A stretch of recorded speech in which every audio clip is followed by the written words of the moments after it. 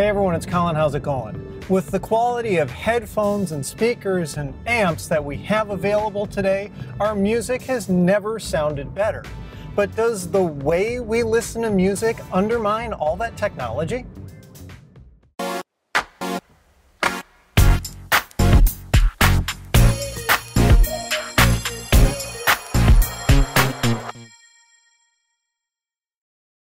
This is actually a video that I've kind of been struggling to shoot.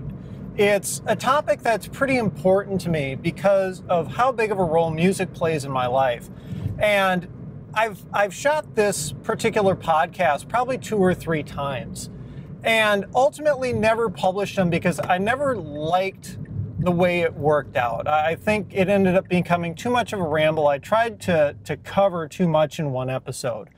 So this one I'm going to really narrow down to a very specific topic, and it's this comparison between the quality of equipment we have versus our own usage of that equipment, our own habits to listening to music. And I should also, to kind of help you get in my head a little bit, answer a question that I actually get asked pretty frequently um, especially after I upload a new video that maybe does a review of headphones or Bluetooth speaker or some audio equipment.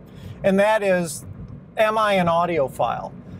I don't really consider myself an audiophile in the strict sense of spending, you know, all my my free time and and spare money on trying to build this massive and expensive, you know, home rig to, to chase this dream of you know so-called perfect audio reproduction. Um, I'm I'm definitely not into that. I completely believe in trying to find the best bang for your buck, um, and not necessarily trying to chase diminishing returns, which you will start heading down that path very quickly if you start following the audiophile circle, circles. I'm I'm more about can I get music to sound the way I want it to sound without a massive investment, which is why I really like looking at like 100 to 200 dollar headphones. They're not the cheapest things you can get, but they're not pushing that that boundary of are you really getting more even though you're dropping a significantly larger amount of money. I guess is a way to put it. So I'm, I'm all about bang for buck. So that said, over the years, of course, technology is going to continually improve. And one way that it's really improved is audio reproduction equipment. Uh, headphones that we have available today sound dramatically better than headphones from 20 years ago. Speakers we have today can sound dramatically better than speakers we had 20 or more years ago. Part of that is due to better materials, and part of that is simply due to better science, better design. We've got computer aids to help us build this equipment in a more precise way and reduce resonance and reverberation and noise and all these other things that can happen when you're designing any kind of audio equipment. The other thing that we've also really seen is a, another, I should say, another rise in the popularity of personal audio. We saw this originally back in the very late 70s, early 80s, and that was all thanks to Sony with the Walkman. Um, transistor radios, you know, existed prior to the Walkman, but they just weren't as common of a thing, really. Um, you know, it, it, it didn't usher in this era of, I want to listen to whatever I want to listen to and shut out the world like the Walkman did. And the Walkman actually really kind of dovetailed from a psychological and sociological perspective with what the rest of the 80s turned out to be. The whole me generation and all that. And I don't want to get into too much of that because you probably don't care. But the Walkman really ushered in personal audio. And the iPod brought it back again. The iPod was really just a reincarnation of the Walkman, but for a more modern era, more modern medium. And now we're really seeing it yet again with the convenience of smartphone, right? You don't need to carry a separate music player around anymore. You've got it on your smartphone. And what's more, with the advent of music in the cloud and streaming and all that, you can have any music you want to listen to available right on your phone. And it doesn't even need to be stored on your phone. Just any music you want to listen to, you can find it, you can play it on the spot. It's instant gratification. So, with that, we've seen a major rise in sales and usage of personal audio. The biggest market to get impacted by this is headphones. I've done a number of headphone reviews. I like headphones. I think headphones, in terms of audio reproduction, are the best bang for buck. I think you can get, let me put it this way a $200 pair of headphones, I think, will sound better than a $200 pair of speakers. Not counting the fact that you're going to need an amp for those $200 pair of speakers, that's going to cost even more. You know, it's going to push you over that $200 mark. But headphones, I think, are the best bang for buck. And we've seen sales of headphones just skyrocket, absolutely skyrocket. And they're they're taking off again with the iPhone 7 and the lack of the headphone jack and all that. I've talked about that topic before. Um, so now Bluetooth wireless headphones are going to be a big thing, and they're you know they're going to sell those gangbusters, especially as the rest of the smartphone market starts to just pull the headphone jack out of their products too. So headphones really taken off. The other thing that's been a huge market are Bluetooth speakers, these little portable Bluetooth speakers. Um, they they are incredibly convenient. They're self-contained. You don't have a pile of wires hanging out all over the place. They don't have to be you know permanently fixed in one place like a, a traditional kind of stereo system might. Um, they are the new boombox, but again, because of the advancement of technology, these Bluetooth speakers often sound better than a boombox ever did at the same price point. So we've got just all these wonderful and amazing ways to listen to music from like a reproduction point of view that just sounds better than it ever did. The other half of that is, of course, the medium that we listen to it with. And you would think that we would have these wonderful and amazing new forms of media that the audio can live within, right? We, we progressed through hardware over the years.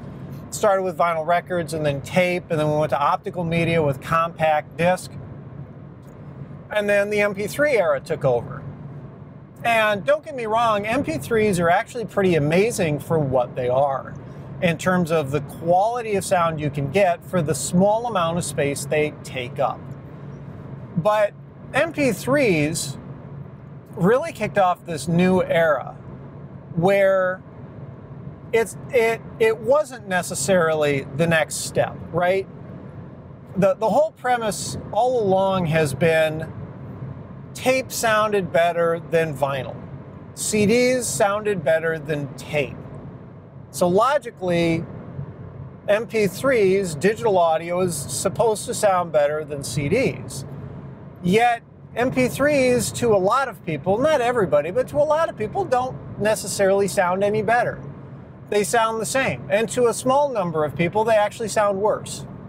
Now, I'm not going to sit here and claim to be somebody with golden hearing, and I can tell the difference between all the different bit rates and, and between CD and all that in a blindfold test. I, I, my hearing isn't that great, but I can tell you that I can hear a difference between a lower bitrate MP3 and a high bitrate one. And while high bitrate MP3s do sound really good, they still lack a little bit of something that the original audio has. So when MP3s and by extension other compressed audio formats, AAC is another one, and AAC I think does a better job at compressing audio than MP3. But it, it really became this trade off now where it's not so much an advancement in the actual technology as it is an improvement in convenience right? You don't have to go to a store and buy a CD and have that thing physically with you in order to, to get that music. Now you can buy it online and download it and store it on your hard drive. And of course, now, you know, as, as we've really started to enter this area, you don't even need to buy it directly. You don't even need to store it directly. It's just out in the cloud and it just streams to you on demand. And that dovetails really nicely with the resurgence of personal audio. You know, with people when they're out and about, they want to listen to, to music. You know, they, you see people walking around all the time out on the street, walking through the store, through the mall, wherever, wearing headphones. You know, 10 years ago, you didn't see that quite so much. I mean, th- those people existed, but they were considered kind of weird. You know, 10, 15 years ago. Now it's whatever, normal. You see people wearing headphones all the time. And what I can't decide is it seems like it's kind of a chicken and egg type of deal where I don't know if it's the convenience of the music that drove headphone adoption or if it's the the advancement in headphones and, and maybe some sort of mentality change that has driven adoption in more convenient music platforms like cloud music. But another thing that's a little disturbing is okay, so yeah, you know, compressed music sounds really pretty good compared to CDs. And we've got some fringe markets where you can buy high resolution, you know, non lossless, non lossy compressed, I should say, audio like hdtracks.com. You know, so if you want to get your audio file on, you can. But the vast majority of music, I think, has actually been recorded in a worse way than older music. And it really all comes down to dynamic range. It's not so much about the actual digital compression of the file that you've taken, you know, this uncompressed audio file and squashed it into an MP3 or an AAC. You lose some quality doing that. But there's another form of compression, and it's called dynamic range compression. And it's actually very common, and I even use it myself on these videos. Um, dynamic range is really, in a simplest term, the difference between the quietest parts of audio and the loudest parts of audio. The, the greater the difference there means you've got the, the larger the, the dynamic range. And dynamic range, at least to me, is what adds some life to music. It adds some punchiness, some energy, um, some emotion sometimes. It's, it's necessary to have a decent dynamic range for a really engaging experience. But what we've been seeing in modern music, stuff probably recorded starting maybe the last 20 years, maybe a little bit before that, is this music has been recorded and and mixed and mastered in such a way where that dynamic range has been shrunk. Where the quieter parts of a song aren't really that much quieter than the loudest parts of a song. Now, there's a real reason for doing this, and it's actually due to economics and the business of the music industry. And it's really all about radio and casual playback in places like stores. When you've got a whole bunch of songs on rotation, like the you know the top 40, you want your song to be the most recognizable, the the one that people remember the most, the one that people pay the most attention to. And people generally are going to remember and pay attention to music that's louder than other music. It's just, it's this thing that we've got in our brains where louder music generally can sound better, but it also attracts your attention more. And it doesn't necessarily need to be like loud, loud. It just needs to be more prominent. And that's what compressing the dynamic range does. It makes the, the song overall seem louder than it may actually be otherwise. Of course, doing so sucks the life out of the music to a lot of people, including myself. A great comparison that I like to use is listen to any top 40 song and then play an older album. a great example, one that I love to just rock out to in the in the guitar, is ACDC's Back in Black. That was an album recorded back in the analog days when everything was recorded to tape and they didn't have the same level of editing that we do now, where everything is just recorded to the hard drive of a computer and all the mixing is done in a computer. Everything's just done completely digitally. Back then, they did they had to do everything the hard way, and it was recorded to tape and it was mixed in the analog realm, and any effects were added in the analog realm. So they didn't want to do too much to it because every time they made a change, it would decrease the sound quality. And compression technology wasn't very good back then either. So they couldn't really compress the hell out of it. And of course, they didn't have the ubiquitous, you know, source of music that we do now, where you go anywhere and you can hear music playing. You know, you, they play music in the movie theater before the movie starts. They play it at the mall. They play it at stores. Um, you know, they play it at sporting events and, and all these other places. Music is just surrounding us. Back then, it wasn't quite as ubiquitous. Music was more of a thing that you had to seek out to purposefully enjoy, whereas unfortunately now music seems more and more just like background noise. People put it on to drown out the rest of the world, and they aren't necessarily making a concerted effort to listen to it. But older music generally is gonna sound better than modern music because they didn't have the same listening environment and the same business requirements or business desires that the record companies have today. And I think that's a real shame that we've got equipment that can reproduce music way better with way better fidelity than music from the early 80s or the equipment from the early 80s ever could. Not to say that there was bad equipment back then, but the same level of music playback wasn't, it, was much more expensive back then than it is now. You spend a lot less money now to get better quality audio than you had to 20, 30 years ago.